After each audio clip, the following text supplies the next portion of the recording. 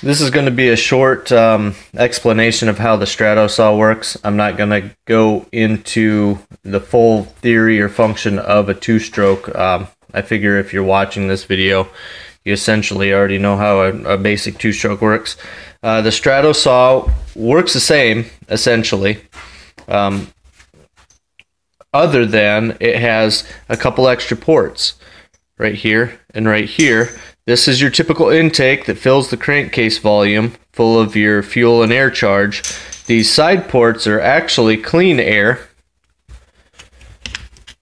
in the intake manifold that fill the upper transfers um, simultaneously to the crankcase being filled with fuel and air.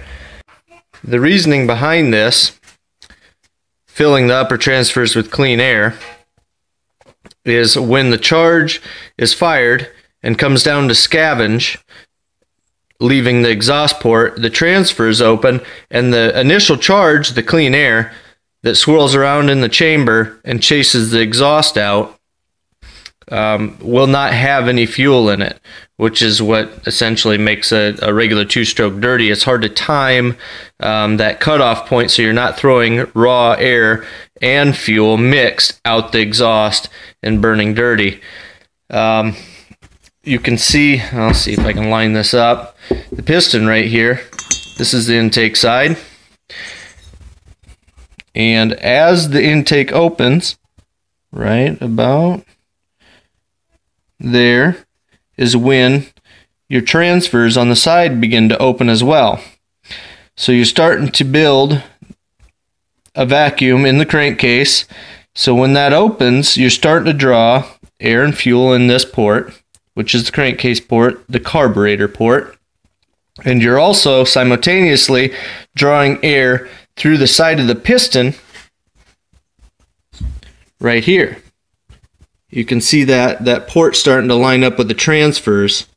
I can move that up just a little bit. So as you're drawing fuel and air through and into the bottom, into the crankcase, you're also drawing through negative or through um, a vacuum. You're you're drawing clean air through the side of the piston and filling this upper transfer. And that's essentially how they're doing it. Now, what I've done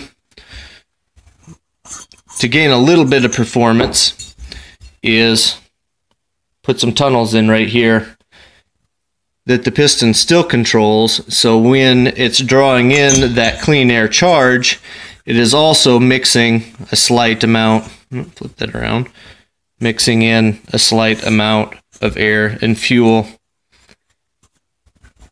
to give it a little bit of a boost at higher RPM.